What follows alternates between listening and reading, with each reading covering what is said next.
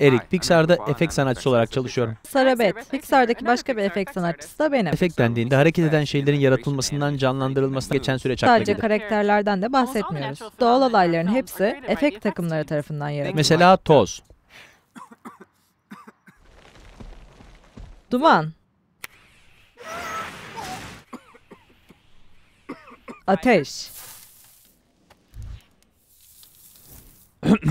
Patlamalar. Hayır.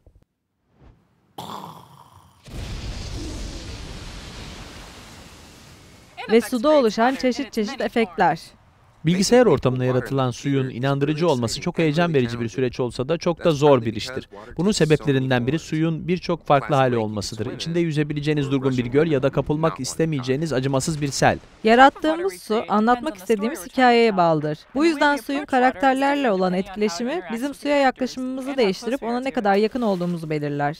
Bilgisayarda inandırıcı su yaratmak için kullandığımız araçlardan biri parçacıklardır. Tek bir parçacıkla başlayalım. Bu parçacığa etkileyen rüzgar ya da yer çekimi gibi kuvvetler olabilir. Ya da birbirini itip çeken daha fazla parçacığa da sahip olabiliriz. Parçacıkların sayısını arttırıp aynı kuvvetleri onların üzerine de uygulayınca bilgisayarda suyu yaratabiliyoruz.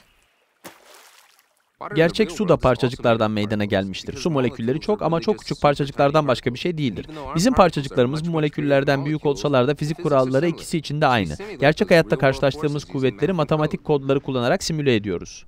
Bu sahnelerdeki su parçacıklarının her birini tek tek canlandırmak isteseydik milyonlarca yıl çalışmamız gerekirdi.